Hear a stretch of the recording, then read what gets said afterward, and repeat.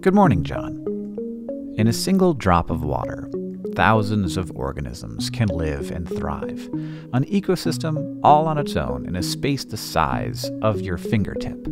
Varied, peculiar, intricate, and magnificent. There's so much that we know about these minuscule beasts, but also many mysteries left. Often we talk about exploration by going deep or high or far, but there is a whole other world within an arm's reach that nonetheless exists outside of our notice. And the world of the microcosmos is as close as we have ever gotten to something truly alien microscopic animals living alongside single celled giants, diatoms with cell walls made of glass, massive amoebas oozing, ancient mutualistic relationships, astounding, mysterious abilities. I can't quite explain why I am so astounded by this life.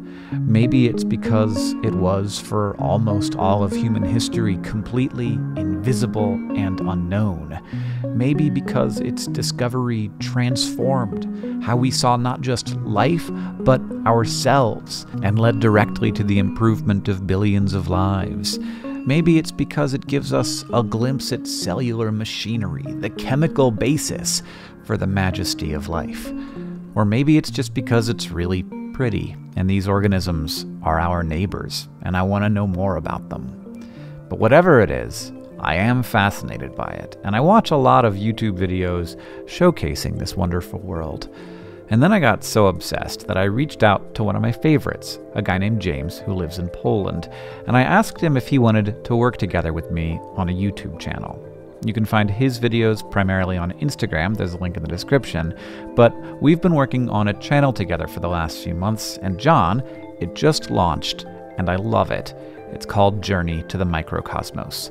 Our first episode is out, and we'll have a new one every week. It features original music from Andrew Huang and great design and editing from our people here at Complexly. Some of the organisms we feature might be familiar, like we're planning on following a family of tardigrades as they hatch and grow and develop. Some will almost certainly be unfamiliar, but we hope that you will come to love and appreciate them as much as we do, like Stentor caeruleus, one of the largest single celled organisms on Earth, big enough to be seen with the naked eye.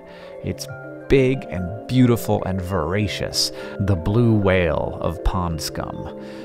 There's so much to see, so much to know, and Journey to the Microcosmos will take us there. Not rapid fire educational, like a lot of the stuff I've done before, but chill and laid back.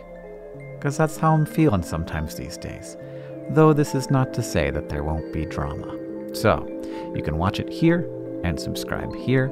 It's a very different thing than I have done in the past, so I really hope you like it. John, I'll see you on Tuesday.